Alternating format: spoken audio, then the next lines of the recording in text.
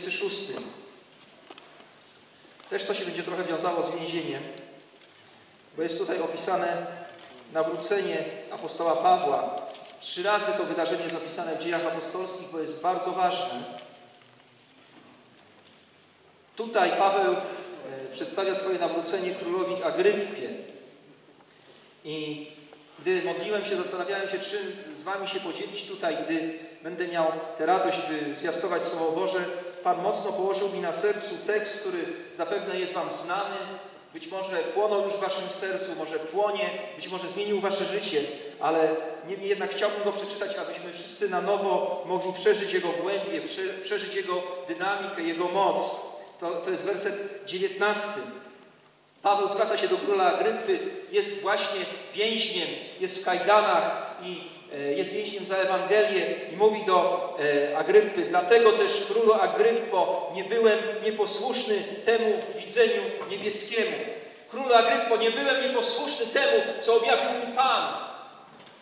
Król Agryppo, poszedłem za głosem Boga. Nie mogłem uczynić inaczej, gdy Chrystus stanął mi na drodze. Nie mogłem inaczej postąpić, jak tylko pójść za Nim. Wcześniej Paweł opisuje e, e, swoje nawrócenie. E, mówi Agrypie o tym, jakie życie wiódł przed nawróceniem. Mówi o tym, że był faryzeuszem, człowiekiem bardzo religijnym, ale zarazem był gorliwym, żarliwym prześladowcą chrześcijan, prześladowcą Kościoła. Dręczył chrześcijan, skazywał ich na, na śmierć. Domagał się od nich bluźnierstwa, wyparcia się Chrystusa.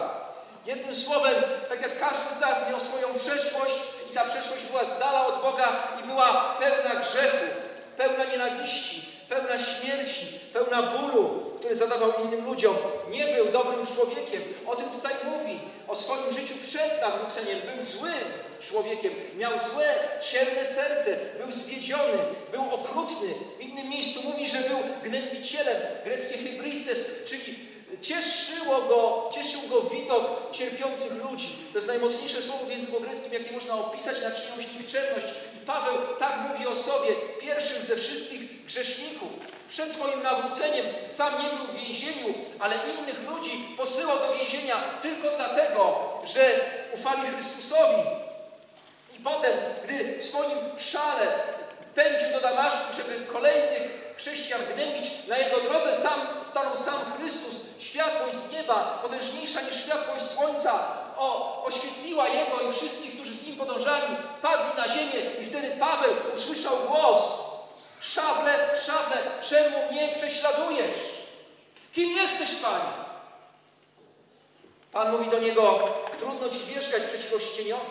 Oścień to był taki zaostrzony kij e, służący do tego, żeby poganiać wołu w czasie orki. I Bóg mówi, wiesz co, Pawle? Wierzgasz przeciwko mojemu ościeniowi. Nie wiesz, co robisz. Jesteś w jakimś obłędzie. Twoje serce jest ciemne. Ale robisz wiele złych rzeczy. Próbujesz znaleźć zadowolenie, próbujesz być religijny, próbujesz się im przypodobać. Ale tak naprawdę mieszkasz przeciwko ościeniowi i z każdym razem, za każdym razem, kiedy zrobisz coś złego innym, ranisz tak na, naprawdę najbardziej samego siebie. Ty jesteś najbardziej zraniony, Pawle, tym, co robisz. Ty jesteś najbardziej sfrustrowany. Ty jesteś najbardziej zagubiony. Trudno ci wierzgać przeciwko ścieniowi. Paweł jest oszołomiony tym, co się dzieje. Zaniewidział. I Pan mówi do niego dalej. Przedstawia mu zadanie, jakie ma do wykonania. Gdy Paweł że rozmawia z samym Jezusem Chrystusem, Jezusem z Nazaretu, tenże Jezus, Jego Pan, Jego nowy Pan, nowo odkryty Pan, mówi do Niego tak w wersecie 16, ale powstań i stań na nogach swoich, albowiem po to Ci się ukazałem, aby Cię ustanowić sługą i świadkiem tych rzeczy, których nie widziałeś, jak również tych, których Ci się pokaże. Nasze spotkanie, Pawle, ma bardzo określony cel, ma głęboki sens. Wybawić Cię od ludu tego i od pogan, do których Cię posyłam. Już serce Pawła musi się rozszerzyć, nie tylko Izrael, ale poganie, aby otworzyć ich oczy, odwrócić od ciemności do światłości i od władzy szatana do Boga, aby dostąpili odpuszczenia grzechów i przez wiarę we mnie współudziału z uświęconymi. I oto Chrystus staje na drodze Pawła i mówi mu, koniec Pawle, twojego starego życia. Zmieniasz kurs, zmieniasz kierunek, mam dla Ciebie nowe zadanie, które będziesz pełnił w swoim nowym życiu, należącym do mnie, Pawle.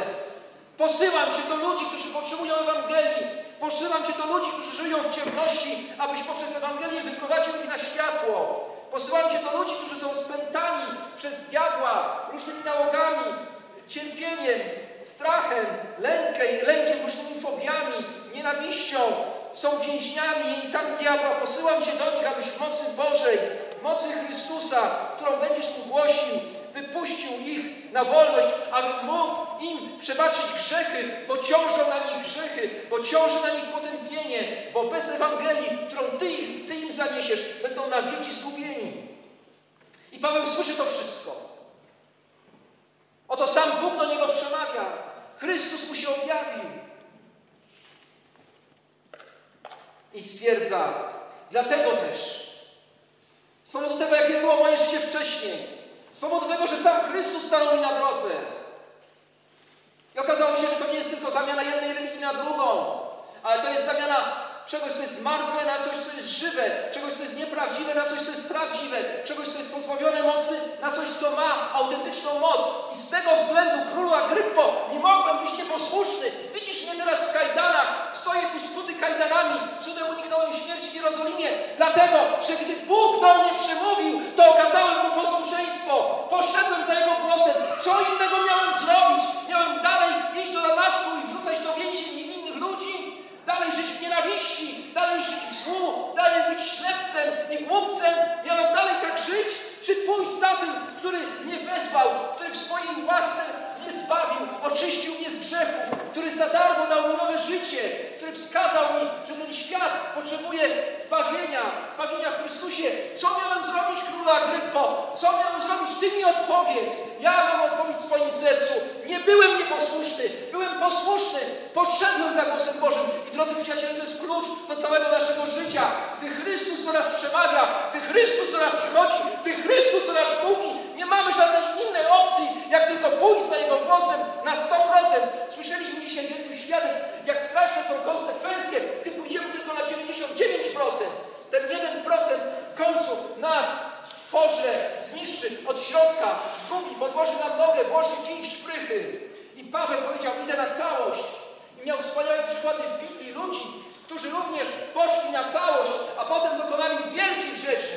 Czy chcesz dokonać wielkich rzeczy dla Boga? Czy Służyć? Czy chcesz iść za Nim? To gdy Chrystus mówi do Ciebie, nie bądź nieposłuszny, ale idź za Nim, bo On ma wspaniały plan na Twoje życie.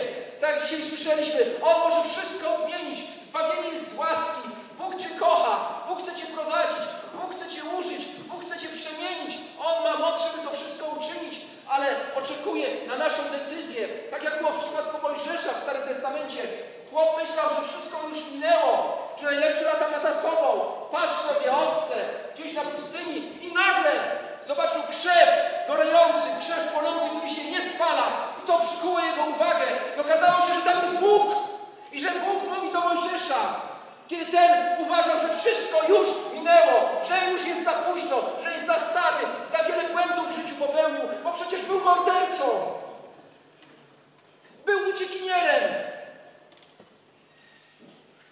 I Bóg wtedy wstępuje i mówi, słuchaj Mojżeszu, napatrzyłem się już na niedolę mojego ludu w Egipcie, słuchałem ich jęków, słuchałem ich modlitw, mam już tego dość i przyszedłem ich uratować. Mojżesz mówi, wspaniale Boże, o cudownie, przyszedłeś uratować lud Boży, to cieszę się bardzo, to gratuluję decyzji, proszę uratuj ich. A wtedy Bóg mówi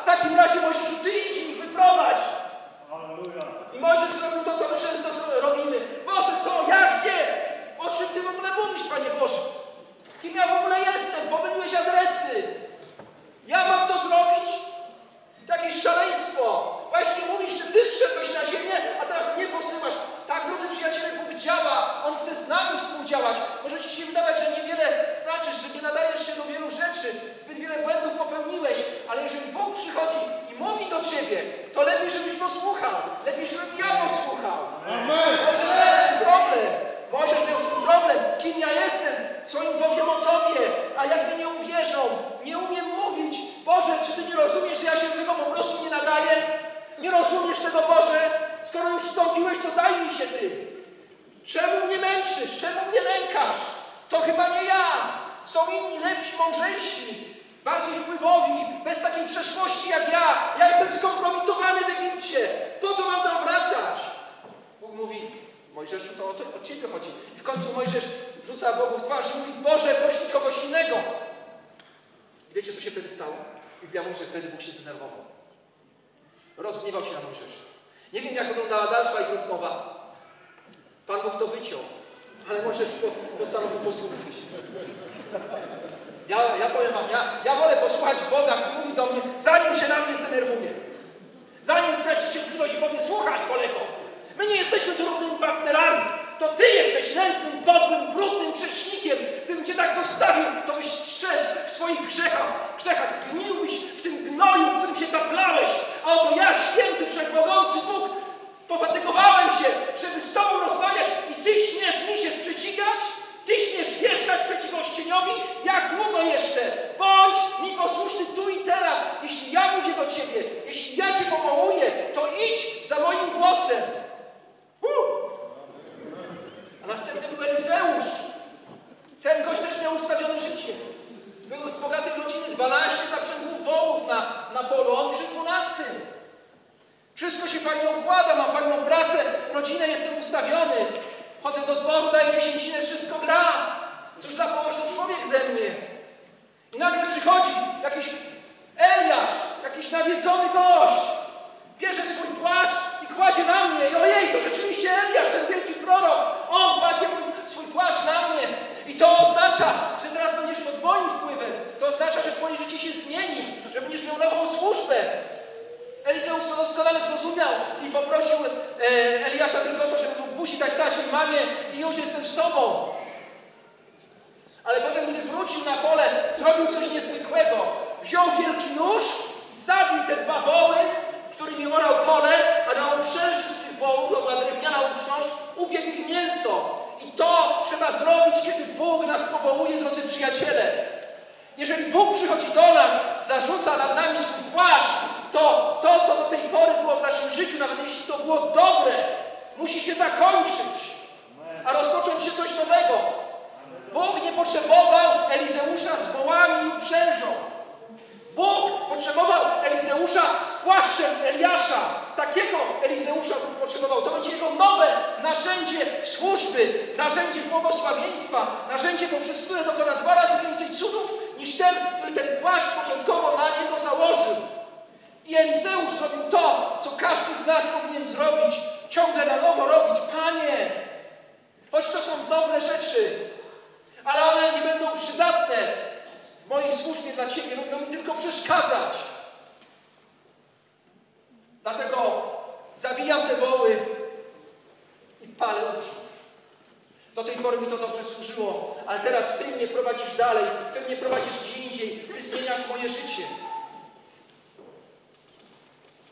Kolejny przykład, który też dobrze znacie, to jest Izajasz. On zobaczył chwałę Bożą. Jak zobaczył, powiedział, zginąłem. Prorok mówi, jestem mężem nieczystych warg. Co ja robiłem ze swoim życiem? Jestem martwy. Myślałem, że znam Boga, że Mu służę, ale tak naprawdę jestem martwy. I potem jego grzechy zostały oczyszczone i Bóg mówi, kogo poślę? Kto dla mnie pójdzie?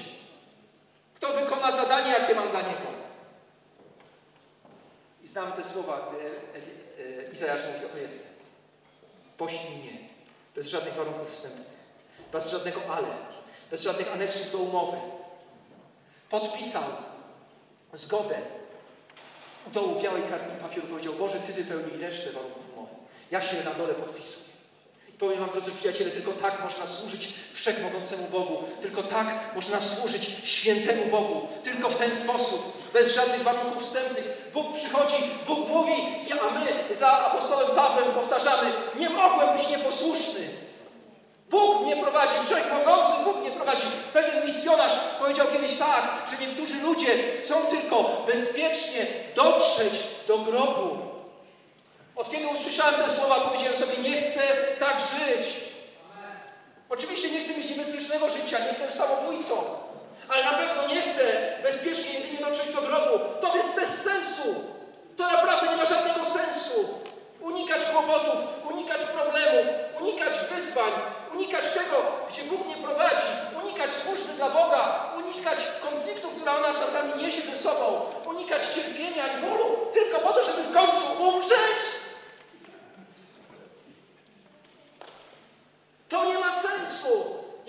życie na tej ziemi, jakie ma sens, to jest życie całkowicie oddane Bogu i Jego dziełu.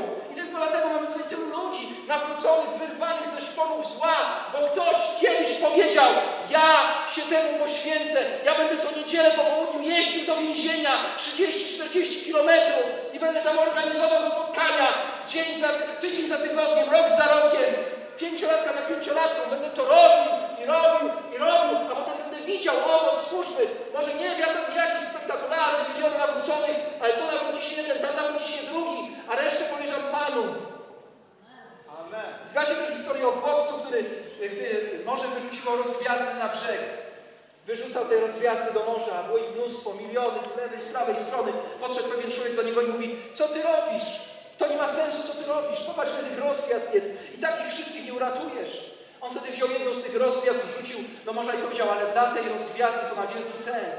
I na tym polega nasza służba. Bóg nie powołuje nas do tego, byśmy byli zbawicielami świata. To było moje ostatnie wielkie odkrycie. Boże, ja nie muszę być zbawicielem świata. Zbawiciel już przyszedł na ten świat. Zbawiciel już umarł za grzechy świata. Zbawiciel już pokonał grzech. Już pokonał śmierć. Już pokonał diabła. Rozbroił nadziemskie władze i zwierzchności. Zbawiciel już dokonał pełnego odkupienia. Już krzyknął na krzyżu. Wykonało się. Zbawiciel jest przy po prawicy tronu Bożego i ma się tam dobrze, jest zwycięzcą i czekasz, wszyscy jego wrogowie zostaną położeni jako podnóżek pod jego stopy. Nie musisz być zbawicielem świata, ale wystarczy, że zaniesiesz zbawienie jednej osobie, a potem drugiej osobie, a potem trzeciej osobie. Wystarczy, jeśli zrobisz to, do czego Pan Cię powołuje, a Pan powoła Cię na miarę Twoich możliwości, na miarę tego, czym Cię obdarzył a potem może to będzie poszerzał. Wystarczy, że wypełnisz wolę Bożą na swoje życie. Piotr, Jędrzej, Jan, Jakub musieli mieć już wcześniej jakiś kontakt z Jezusem, bo gdy przyszedł i oni łowili ryby, wiedzieli kim jest, wiedzieli czego od, niego chce, czego od nich chce, powiedział im pójdźcie za mną. Byli zajęci pracą. Wiecie co Biblia mówi? W obydwu przypadkach uwielbiam te słowa. Piotr i Andrzej natychmiast poszli za nim, a Jan Jakub zaraz poszli za nim. Nie czekali, nie dali czasu na wątpliwości, nie dali czasu diabłu na to, żeby zasiewał różne yy, zwątpienia w ich sercach, na kalkulacje. Przyszedł Jezus, usłyszeli, że będą rybakami ludzi i natychmiast to zrobili. Jan i Jakub pracowali w firmie u taty. Tata był dość chyba nieźle sytuowany, bo miał synów, miał innych robotników, miał sieci, oni reperowali te sieci. Przyszłość była przed nimi, przejmą kiedyś interes ojca. Nic w tym złego nie ma. Do momentu, kiedy na brzegu jeziora nie pojawi się sam Pan Wszechświata, sam Bóg Wszechmogący i nie powie, pójdź za mną. I chcę Ci dzisiaj powiedzieć, jeśli Pan mówi dzisiaj do Ciebie, pójdź za mną, to nie bądź nieposłuszny. Jeśli Pan Ci kiedyś powiedział, pójdź za mną i poszedłeś za nim, ale jeśli teraz ciężko, jest Ci trudno, to tak jak w tym wersecie, który brat Marian czytał, nie pozwól się usunąć z tego mocnego stanowiska, z tego miejsca, które Pan Ci wyznaczył. Odśwież w sobie pasję, tak jak Paweł pisał do Tymoteusza, roznieść na nowo w sobie to obdarowanie, ten dar ducha, jaki masz. Służba Bogu nie jest usłana różami. Są problemy, są wyzwania, są konflikty, są trudne chwile, są chwile zwątpienia. Ale służba Bogu, służby Bogu nie da się z niczym innym porównać, bo służysz Bogu i On jest z Tobą. Odczuwasz Jego, odczuwasz Jego obecność. Z każdym dniem poznajesz Go coraz lepiej. Widzisz coraz więcej owoców swojej służby. Widzisz, jak Bóg zmienia Twoje życie, jak działa w Twoim życiu poprzez Twoje życie. I to jest coś najcudowniejszego. To jest największy, najwspanialszy przywilej. Dlatego nigdy nie rezygnuj. Nigdy się nie poddawaj. Paweł powiedział, czasami jesteśmy pokonani, czasami jesteśmy jak bokser powalony na deskach. I zaczyna się odliczanie. Sędzia stoi nad nami i odlicza. Ale w swoim sercu wiemy, że choć jesteśmy powaleni, knockdown, to nie jesteśmy pokonani, knocked out. Może jest knockdown, ale nie jest knockout. Nie ma knockoutu w naszym słownictwie. I ponieważ w swoim sercu wiemy, że Bóg zawsze daje nam zwycięstwo, zawsze nas wspiera, aby wolność poznania Bożego roznosiła się po całej ziemi, to podnosimy się i skąd masz tyle siły, tyle razy Cię już okładałem, tyle razy Cię już powaliłem, tyle razy przeciwko Tobie wystąpiłem, tyle przeciwności na Ciebie rzuciłem. Wydawało mi się, że Cię już dawno pokonam, a Ty znowu powstajesz. Skąd masz tę siłę? I możemy wtedy odpowiedzieć naszemu przeciwnikowi, moją siłą jest. Pan jest moją siłą. Jego łaska dodaje mi skrzydeł. Tak jak Jan powiedział, z Jego pełni myśmy wszyscy wzięli i to łaskę za łaską. I ta łaska jest naszą mocą. Ta łaska nas podnosi. Ta łaska nas prowadzi. Ta łaska nas zmienia. Ta łaska dodaje nam skrzydeł. Ta łaska powoduje, że chce nam się zrobić kolejny krok. I ta łaska daje nam zwycięstwo za zwycięstwem. Wzrastamy z mocy w moc, aż ujrzymy Pana na Syjonie. Zmieniamy się z chwały w chwałę, żyjemy z wiary w wiarę, bo łaska w nas działa, bo Pan jest żywy, bo Pan do nas przemówił, bo Pan nam coś obiecał, bo Pan powiedział, że będzie z nami i On jest z nami i prowadzi nas do zgubionych ludzi, aby wyrwać ich ze szponów diabła, aby wyrwać ich z mocy ciemności. I drodzy przyjaciele, w tym, w tym biuletynie ja opisuję swoją podróż do Indonezji na południe Filipin, którą odbyłem w ramach naszej misji, aby odwiedzić tam naszych prześladowanych braci i siostry. Niesamowite rzeczy się tam dzieją, niesamowite również prześladowania, ale gdy stamtąd wróciłem, mogłem nadać temu artykułowi tylko jeden, jeden tytuł. Niezwyciężony Kościół. Drodzy przyjaciele, Kościół Jezusa Chrystusa jest niezwyciężony, a Ty jesteś Jego częścią. Jesteś w zwycięskiej drużynie. Nigdy w to nie wątp. Służysz komuś, kto zwyciężył. Jan kiedyś płakał, miał wizję nieba i płakał, bo nikt nie mógł otworzyć księgi. I wtedy usłyszał, nie płacz, bo zwyciężył lew z pokolenia Judy. On już odniósł zwycięstwo. I dlatego najlepszą rzeczą, jaką możemy zrobić, gdy On do nas mówi, to pójść za Nim i służyć Mu. I nigdy nie wątpić, że On będzie wierny i że zawsze nas podniesie. A jeśli dzisiaj wątpisz, jeśli przeżywasz chwilę zwątpienia, przyjechałeś wątpiący na tę konferencję, to odśwież swoje oddanie Panu.